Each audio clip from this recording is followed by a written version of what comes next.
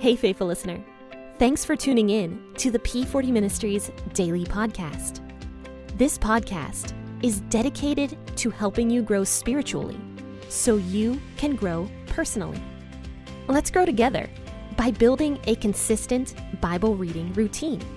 This is Jenn, your host, and today we will be discussing the book of Exodus.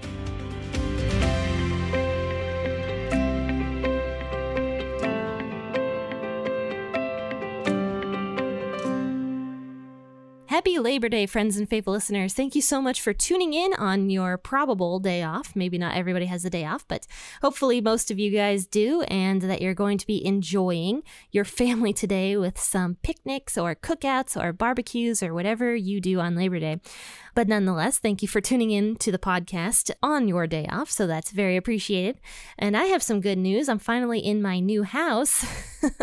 so I'm very excited about the, the new house and the new setup I have for my podcast. And so thankful to everybody who prayed for us during this entire thing, for people who lent us boxes, and um, for people who helped us out as well. So thank you to everybody who prayed or helped out during the move. I am very, very appreciative, and so is my husband. But today we are going to be discussing Exodus chapter 21, verses 12 through 21, out of the WEB version of the Bible today. But of course, you are always free to read out of whatever version you usually read out of. And uh, make sure to grab that cup of coffee or that hot dog off the grill that you are uh, grilling up today. And let's go ahead and jump right in.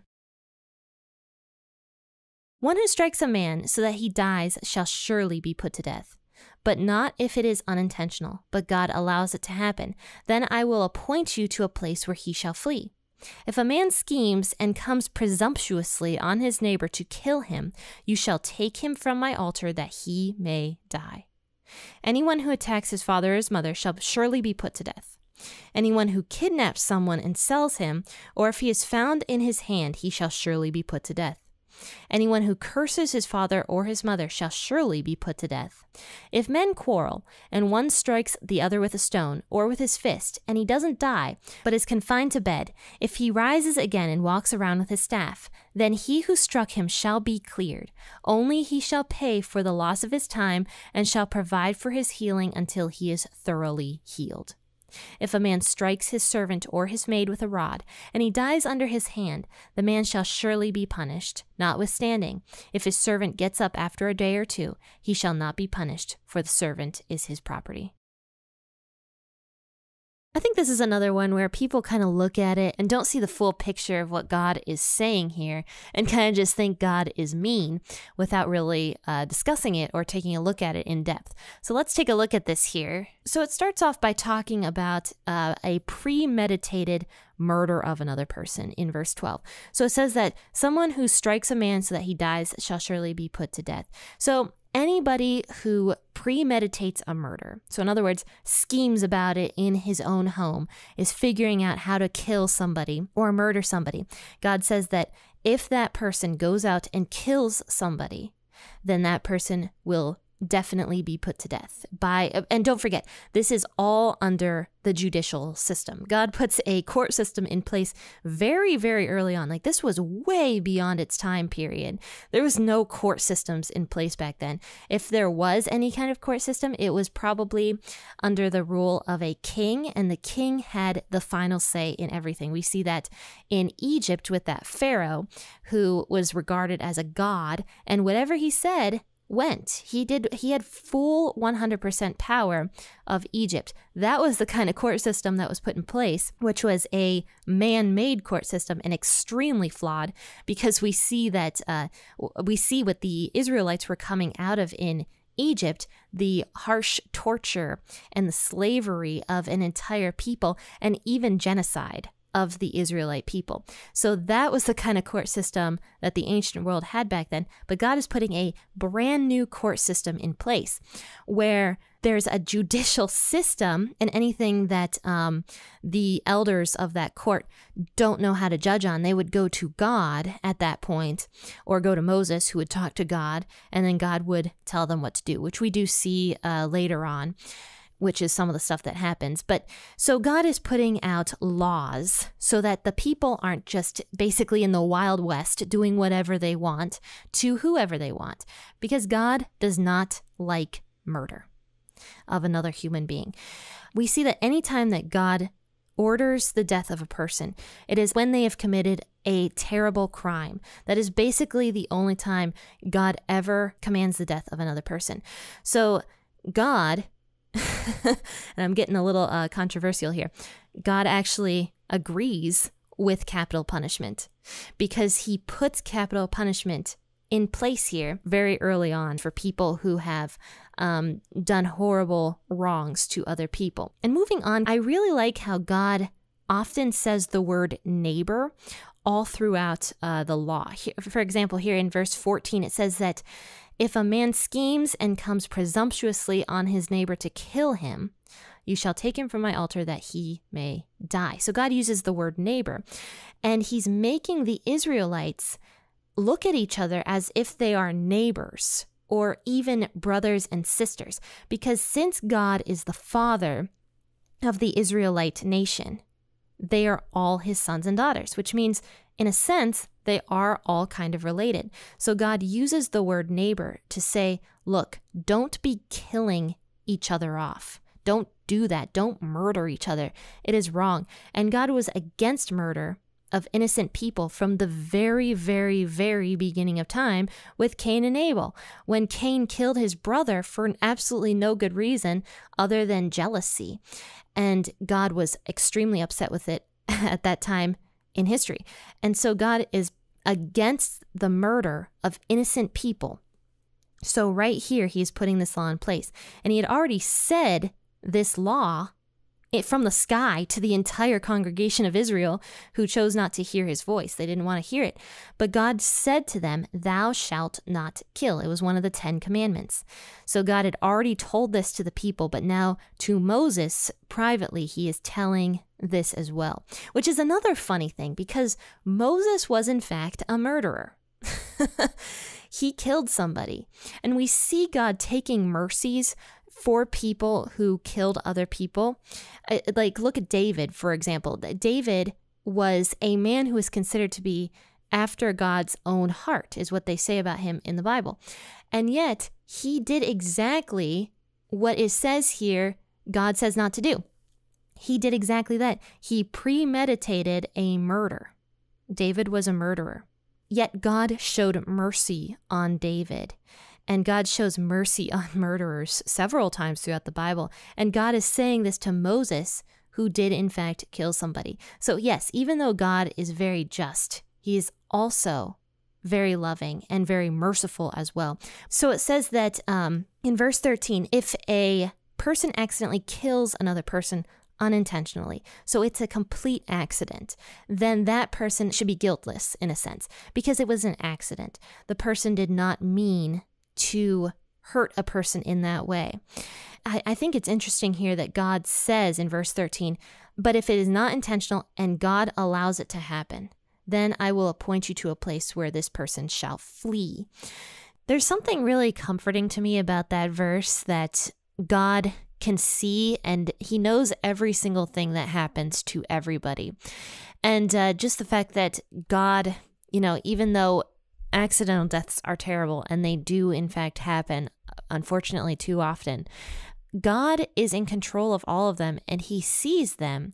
And I know that that's not always the easy answer because there's many people out there who have lost their husbands or their wives or their children to terrible circumstances. And the one thing that I really like that I've heard before is that the reason God is not shocked by death is because he understands the reality of life after death. So he is in control of all situations.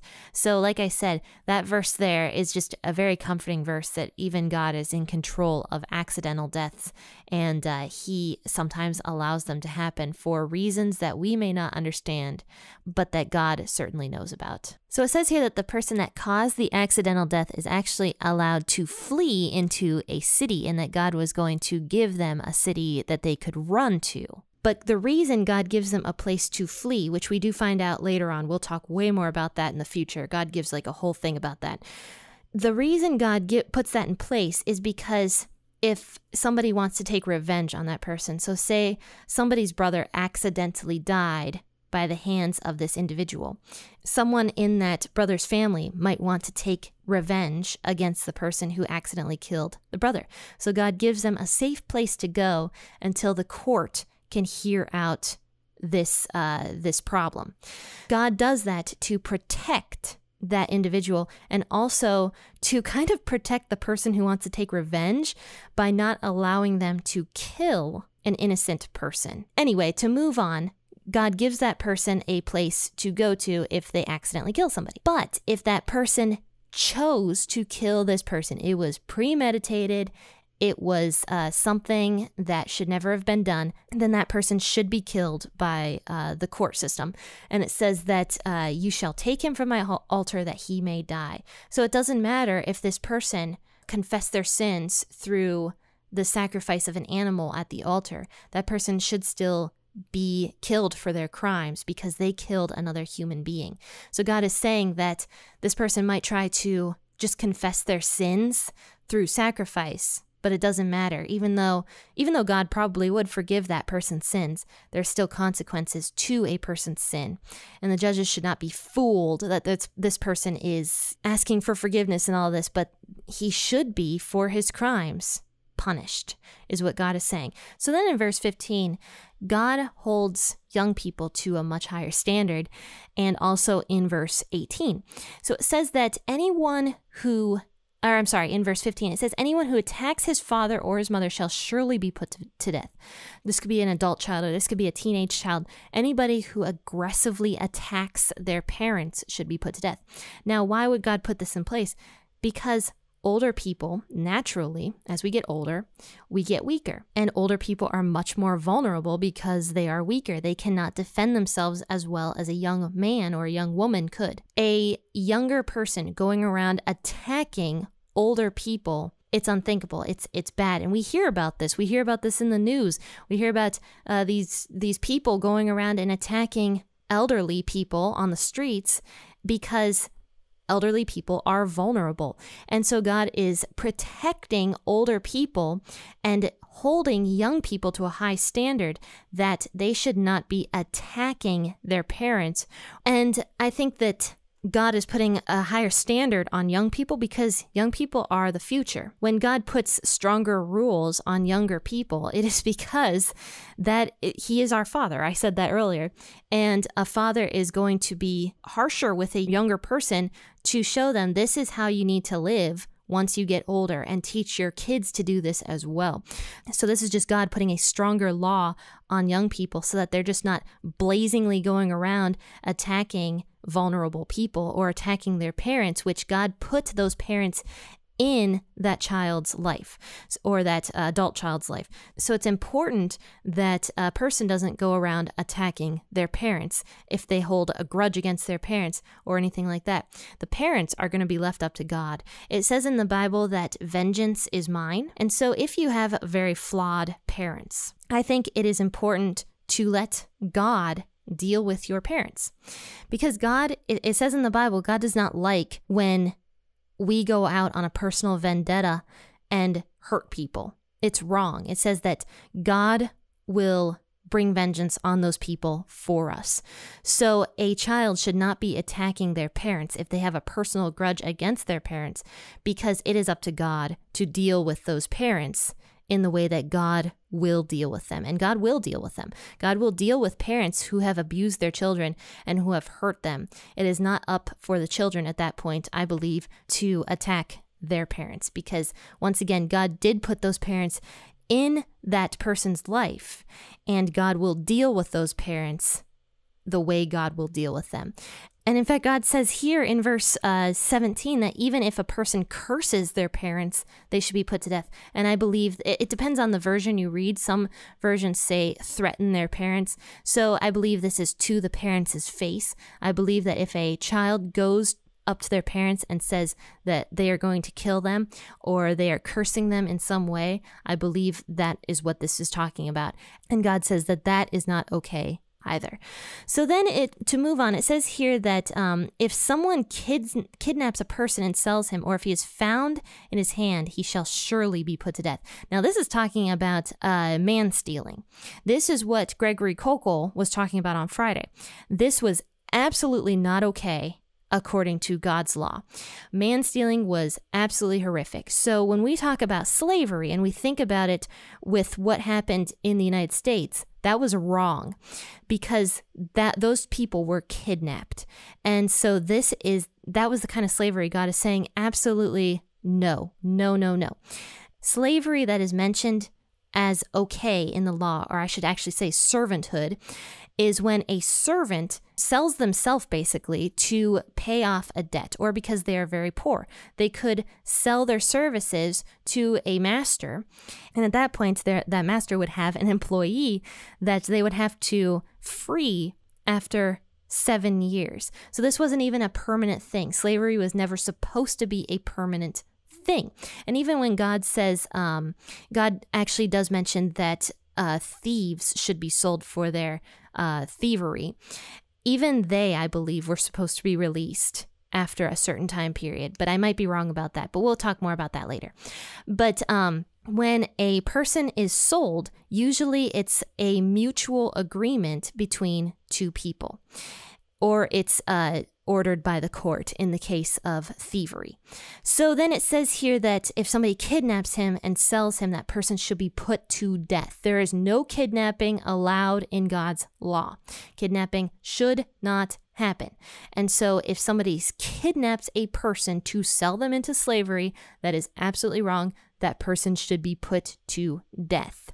And even if the uh, the person is found with um, money, say that they already sold that person and instead they still have all the money, still, it doesn't matter. That person did the deed and they should be put to death.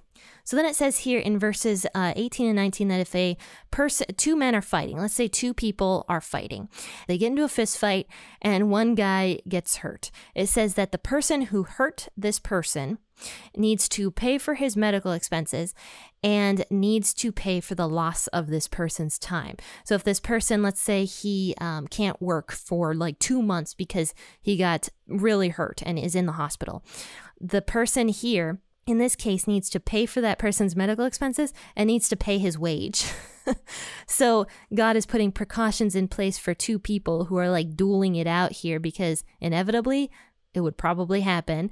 So God does make um, exceptions for the hardness of hearts, and it says that He does in Matthew. Jesus mentions that God puts precautions in place so that people aren't just blazingly going around and hurting other people.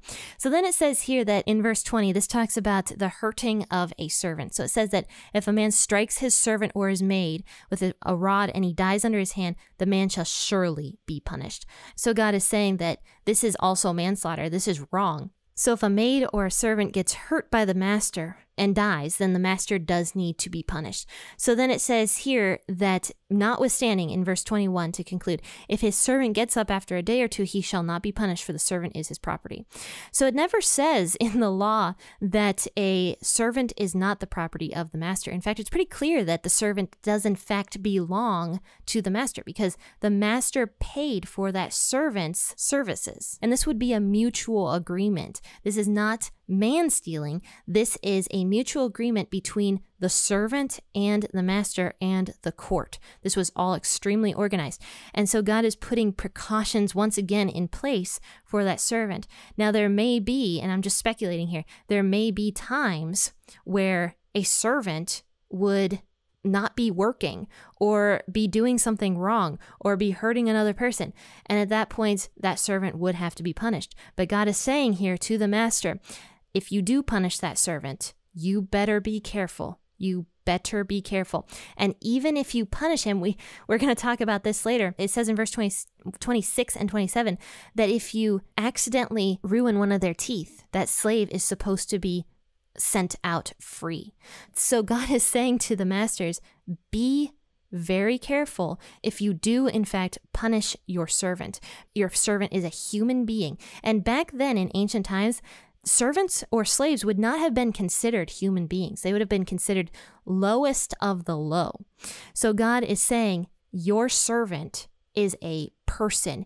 He is somebody who is your employee. So be very, very careful if you do punish a servant so that you, firstly, don't accidentally hurt them because you'd have to set them free anyway. Or if you accidentally put them to death, you will also be severely punished for hurting your servant who is a human being.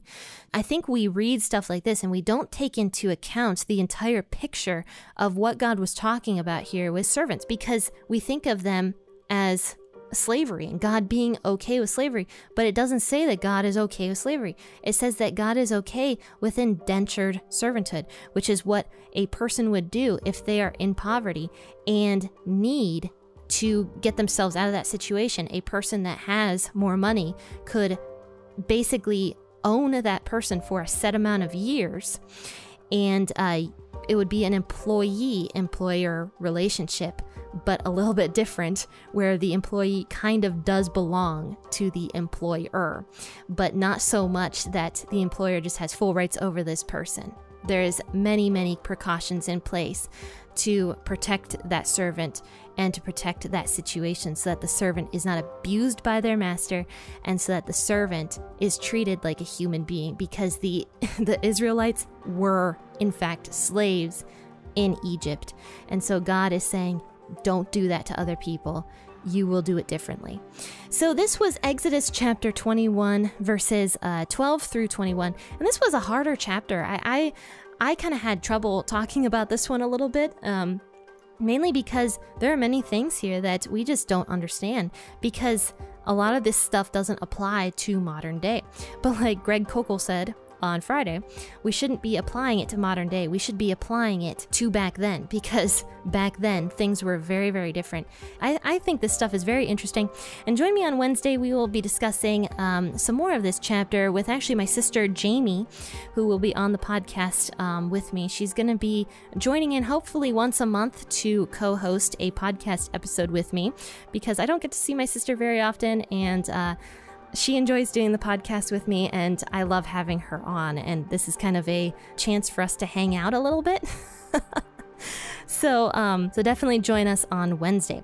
But friends and faith listeners, I want you to have a fantastic Labor Day weekend. Eat lots of hamburgers and lots of hot dogs and lots of barbecue, and uh, make sure that you have a blessed day. Happy listening, and God bless.